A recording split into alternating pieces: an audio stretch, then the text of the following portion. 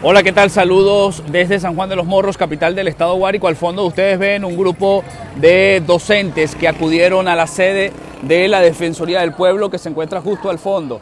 Esto en protesta debido a que el gobierno regional llevó a cabo otra movilización denominada Movilización por la Patria y que impidió a este grupo de docentes que exigen salarios justos poder concentrarse en la sede de la Casa del Maestro ubicada en la, en la Avenida Bolívar de San Juan de los Morros.